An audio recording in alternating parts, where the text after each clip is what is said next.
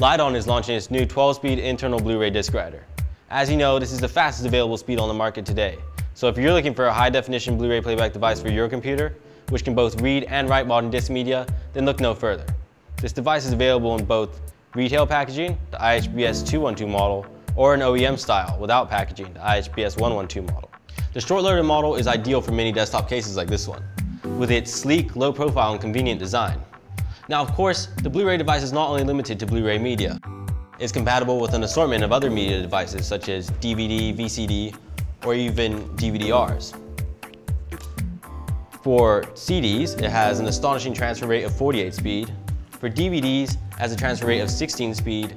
And for Blu-ray discs, it has an amazing transfer rate of 12 speed.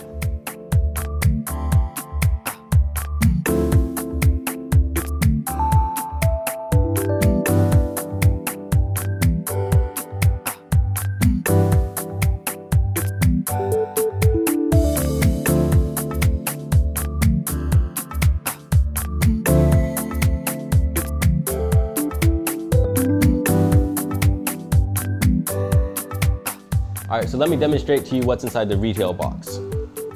We just open the top flap as such. DVD drive slides out. Now here, as you can see, this is an internal drive. So this needs to be installed into a PC case, such as we have here.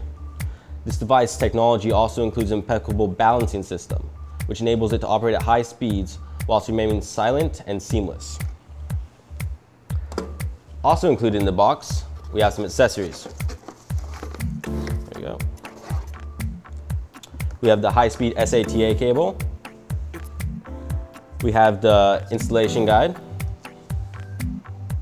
Also, we have a multilingual user's manual, as well as a safety notice. And most importantly, we have the software bundle suite. This includes Power DVD 9, as well as CyberLink HD DVD solutions. LightScribe, the proprietary disc labeling software, gives you fantastic labeling options, where the label can be printed directly on the surface of the disc without affecting the data. This method looks both neat and effective, and looks very attractive and professional as well.